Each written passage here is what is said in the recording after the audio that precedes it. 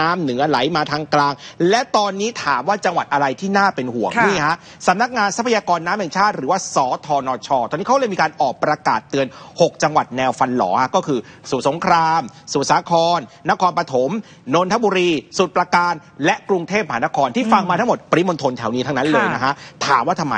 สทนช บอกว่าให้เฝ้าระวังน้ำทะเลหนุนสูงครับช่วง 28 กันยายนถึง 2 ตุลาคมนี้ เนื่องจากว่าอิทธิพลของน้ำทะเลหนุนสูง และก็มรสุมตะวันตกเฉียงใต้กำลังแรง พัดปกคลุมอ่าวไทย ก็ทำให้มีฝนตกหนักในบางพื้นที่ประกอบกับมีมวลน้ำหลาก จากตอนบนของลุ่มน้ำเนี่ยไหลลงมาสมทบ ก็ส่งผลทำให้ระดับน้ำในแม่น้ำเนี่ยเพิ่มสูงขึ้น ดังนั้น ใครที่มีบ้านอยู่ใกล้พื้นที่ริมแม่น้ำเจ้าพระยานะฮะแม่น้ำแม่กลอง รวมถึงแม่น้ำ ท่าจีนค่ะแล้วก็ชุมชนนอกแนวคันกั้นน้ำเขาบอกว่าตอนนี้ก็ต้องให้เฝ้าระวังด้วยนะครับ ส่วนกรมอุตุนิยมวิทยาก็รายงานสภาพอากาศวันนี้ครับบอกว่ายังมีฝนตกหนักบางแห่งในพื้นที่ภาคเหนือ กรุงเทพและปริมณฑลนะครับรวมถึงภาคตะวันออกแล้วก็ภาคใต้ มีฝน